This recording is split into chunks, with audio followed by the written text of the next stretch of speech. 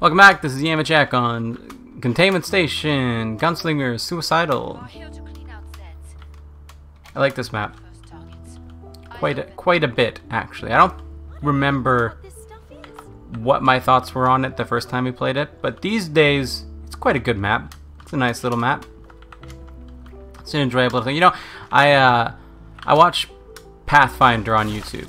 Not really that much, but, um, I do, I do watch Pathfinder. The odd, the odd video. Killing Floor 2 is apparently free on, uh, is it still? I don't know. Probably not by the time this video goes live, anyway. So I'm not going to get your hopes up. Um, but it was live, it was free on the Epic Store. So um, Pathfinder put up a video on that, and I watched it just a little bit to see uh, what that was about. And then I could recommend it to my friends and and whatnot. Because when I looked on the Epic Store, it was not free, but his video said that it was free, so I figured maybe he had information I don't. And uh, turns out it just wasn't free until I looked until uh, something else. Maybe there was a like uh, announcement post saying it was gonna be free or something. I don't know. Anyway, in his uh, in his video comments, quite often, there's there's people saying like, well, yeah, you're the only active YouTuber left on Killing Floor 2. You're the only one why can't Tripwire, like, um, you're the only, they, they'll, they'll, they'll say, like, you're the only active YouTuber for this dead game. Why can't Tripwire, like, you know, reward you for your, your consistency and your loyalty and blah, blah, blah, blah. And I'm like, you know, he's not the only YouTuber. You just don't watch other ones. Like, even besides me, there are other YouTubers besides uh, Pathfinder and I that still make videos on Killing Floor 2. They just, they don't look for it, and then his comments are flooded with people saying that he's the only YouTuber left, and I'm just like, ouch. That hurts me deep inside. I feel betrayed and ignored and hurt. I mean, not really, but it does. It does kind of. It kind of stings a little bit, you know, when when people are like, yeah, Pathfinder, the only Killing Floor 2 YouTuber. I'm like, but, but what about, but, but what about, what about me? You be dead. I make videos. I'm, I make a lot of videos. I mean, I make, I make the most videos. And uh, just kind of, it feels bad. And I'm like, okay, the right thing to do here is not to tell them that I make YouTube videos. That is, that is being rude and disrespectful, and it's probably not going to get me the kind of viewership that I would want anyway. But I so, so badly, and it's not even for like advertising purposes, but just like, you're wrong. your, your statement is just wrong. It's like, uh, you know what they say? Like the easiest way to get an answer on the internet is to say the wrong answer. Because people just get mad at you for being wrong. That's kind of what it is for me, right? It's not even about the, the advertising myself or anything like that. It's just, they're wrong. And I just want to tell them that they're wrong. So I just tell them that they're wrong, and then I don't know. I figure you know if they ask, hey, what what other YouTubers are there that make Killing Floor 2 content? If they care enough to ask, then then I will I will respond with a list of Killing Floor 2 YouTubers, of which I am one of them. Um, but they never do, because they don't care, right? They they they don't really care about there being more Killing Floor 2 YouTubers. They just care about Killing Floor 2 being a dead game. And uh, that's another thing that kind of gets me. I've, I've, I've ranted about it a few times. Um, but people people are so negative about this game. It's incredible how negative people are about this game. People are negative about like so many games too. Like RuneScape 3 is another game that I play, and people are so negative in that game too. And it's just I don't like when people are negative about the game that they're playing. You know, especially especially Killing Floor 2, because people are so unreasonably negative about it. It just, it, it gets on my nerves so badly. Because they'll, they'll talk about it being a dead game, and, you know, you guys need to do something to fix this or your player base is going to die off, and I'm like, but they don't, you, don't, you're not paying them, so they don't, they don't care if you stop playing. You're not, you, you've already bought it whether you play it or you don't doesn't doesn't matter. It's not like you're paying every month for for a subscription to their their servers. Like you've you've bought the game, you, you own it. You, whether you play it or not, it's it's not really important.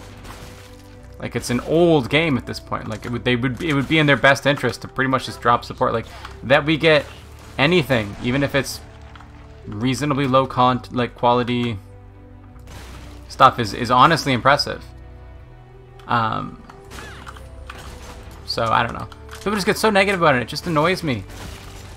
Because they'll it'll be it'll be it's always you know the people who are complaining about it are always the people with like 2,000 hours in it or whatever because they've done everything the game has to offer at that point, and they're like, I want more, right? That's that's when you need more because you've got easily a thousand hours of content in Killing Floor 2.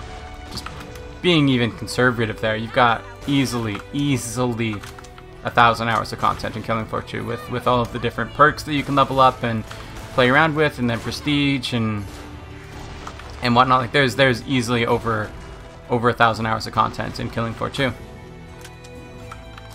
And uh, so when people are complaining about there not being enough content, you know that they've got at, at the very least several hundreds of hours, and it's it's honestly quite likely that they're over a thousand hours, right? And you just you look at the the um the uh, the value proposition there. You look at you look at the value of it, right? And you've got a thousand hours in a game. You paid thirty bucks for. That's that's like thirty hours per dollar that you spend. Like just just that is an insane amount of value out of it. That's if you didn't even get it on sale and uh, it's just it's an insane amount of value and people still get so mad about it like they they, they they're entitled to more content because they paid $30 five years ago like you're really you're really not entitled to anything you, you paid $30 five years ago if you got no updates from then that would have that would have been them fulfilling their their responsibility to you you know I don't know. It's just it's so annoying when people are so negative about the games that they play. And it happens in every in every every every every community, right? You got any pick any game, go to their subreddit, and there's gonna be people like, I pay so much money for this game, blah blah blah blah. You can't even give me content. You can't fix these bugs, blah blah blah blah blah blah. It's like, well, like, chill.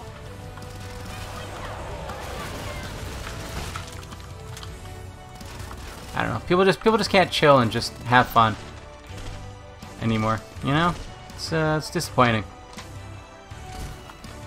But uh, Killing 2 is definitely the one where it really gets me because people get so passionate about how bad the game is, and then they continue to play it. I'm like, okay, is it a bad game or isn't it a bad game? Do you hate it or do you not hate it? Is it a good value or is it not a good value? you're still playing it with a thousand hours in it, I would say yes, you can recommend this as a game that people should buy. If you were like, oh no, no, it's not worth buying, don't buy it, don't waste your money on this piece of garbage, it's dead game, blah, blah, blah, blah. Then they're still playing it when they have a thousand hours in it. I'm like, that's pretty good value. I would, I would recommend it. it's fun. Sure, you don't have too many new maps, but like, who cares? Who cares? The, the, people who haven't played it haven't played the maps that already exist, and there's quite a lot of content in the game. I don't know. It's, it really, really gets on my nerves. And then I get downvoted. Always. You know, people always get mad at me for, for arguing in favor of Killing Floor 2 that, yeah, it's still a fun game, and if you played it for 2,000 hours, and you paid 30 bucks for it, I would say you got your money's worth. And then people were like, uh, no, actually. I deserve more than that. You really don't. You really don't. You got a reasonable, you got a, a very reasonable amount of, uh, of playtime out of your, out of out of the money that you spent on it. You know, if they had a subscription service, you had to pay money to use their service. You know, like at that point, yeah, complain about uh, there not being updates because you're paying money constantly. But you aren't. that's that's not what's happening. So it's just I don't know. It, gets on my nerves.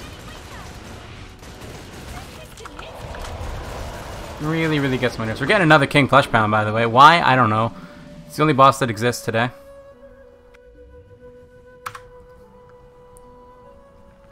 Oh well.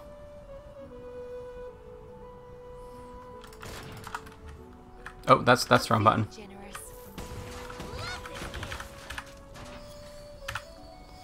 Cause I got a G E G E G E. I don't know why it hits E, but it does hit E. I might have needed it for something. I made it a while back, and then uh, who knows? Who knows? Anyway, that's gonna do it for today. Thank you for watching. Remember to like the video if you like it, subscribe to see more in the future. Comment if you anything to say, and I will see you next time. Bye bye.